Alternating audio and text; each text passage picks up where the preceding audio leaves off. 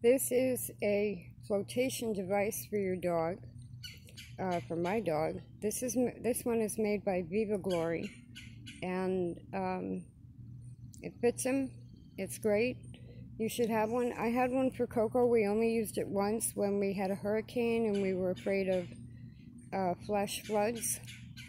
Um, but you should have one for boating, for going um, swimming. Some dogs, they swim so long they get tired. Um, it's a regular life jacket. Come on, you want to get in? What I'm doing, yes, this is a pool. I want him to be used to having to put it on and the idea of water. Come. Come on, get in. Now, he is, um, you know, he's used to vests and stuff, but this is like a stiff coat. And this is a beautiful way to see your dog.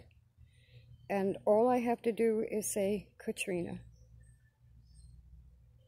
And all the dogs on the roofs or on the porches. So this was, uh, they run about $34. Kong makes one for about $45. I found this brand new, not used, for 15 on eBay. It's called a life jacket or a life vest for a reason. So he's going to wear it in his wading pool and he's going to connect water with flotation and a little bit of an uncomfortable uh, vest. I say it's uncomfortable because it's stiff and it's heavy and it's meant to save his life.